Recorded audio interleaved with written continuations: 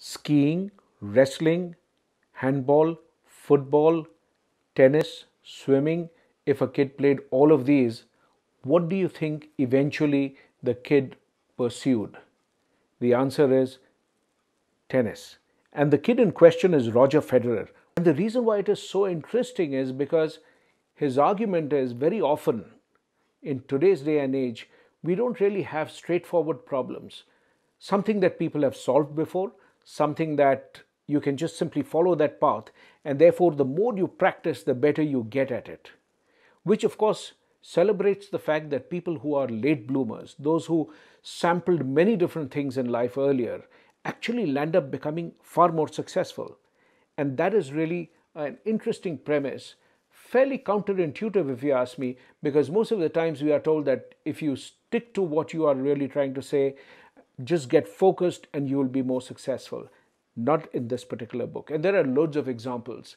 In fact, I was also struck by a quote by Daniel Kahneman, the Nobel Prize winner, who says that very often experience does not build skill, but it gives you a lot of confidence. And think about that. When the world has problems that are straightforward, experience really makes a difference. You get better at it. But when there are wicked problems, the kind which don't have one single solution, the kind where feedback is often slow, so you learn much later, and feedback more often than not is wrong. So, in these kind of problems, actually having people who have sampled many different things becomes an advantage because they can take ideas from one particular field and apply into another.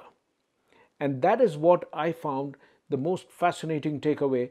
It's a book I strongly recommend you should read. I loved it, and especially because it, in some sense, tells you that if you have many interests in life beyond your work, you're fine.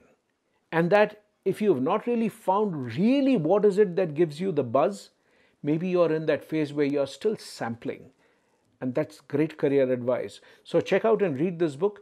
If you like it, let me know. You can drop in a mail at abhijitbhaduri at live.com. Till the next time, thank you very much for watching.